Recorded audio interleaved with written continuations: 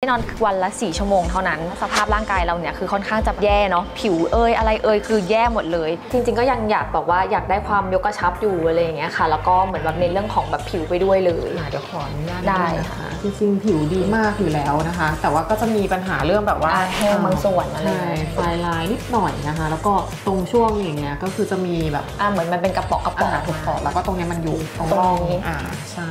ผิวแบบเนี้ยก็จะแนะนำพวกฉีดสกับต้าอืมอ่ามันจะเป็นตัวยาจากอเมริกาก็คือช่วยเรื่องฟื้นฟูก็คือได้ทั้งผิวแล้วก็ยกกระชับภายในเวลาเดียวกันได้เลย คือตัวยามันจะเน้นเรื่องของการยกกระชับอยู่แล้ว เพราะว่ามันจะเข้าไปกระตุ้นให้เราสร้างคอลลาเจน ขวดหนึ่งมันยาค่อนข้างเยอะไง ขวดหนึ่งอะมันจะได้ประมาณ 10ซีซีเลยค่ะเวลาจิ้มมันจะค่อนข้างแบบเยอะมันหน่จะอยรู้สึกเยอะหน่อย ถ้าคนที่ไม่ค่อยฉีดอะไรก็จะแบบกลัวกลัวนิดนึงอืมนะคะ สามารถทายาชาเพราะว่าเคยได้ยินมาอย่างเวลาฉีด Sculptra มันต้องฉีดเท่าอายุ ถ้าเอาให้ครบคอร์สเลยสมมติว่าตอนเนี้ยเราอายุ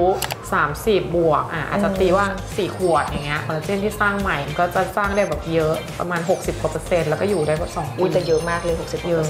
น่าคือจะซื้อ skincare มานี่แบบสู้ไม่ไหว ราคาแพงเหมือนกัน ถ้าไม่กลัวเข็มก็คือตัวนี้ใช่ดีเนาะ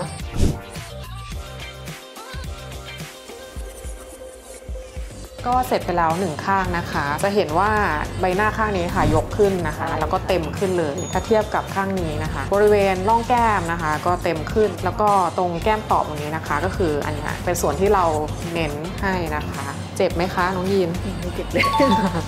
เก่งมากค่ะไม่มียาชาด้วยนะคะ หลังทำมดโดนน้ำหนึ่งวันนะคะ เพราะว่าก็จะมีรอยเข็มที่เห็นอยู่ประมาณมีเทียบกับรอยปากกานะเรียบร้อยค่ะเคสนี้เสร็จแล้ว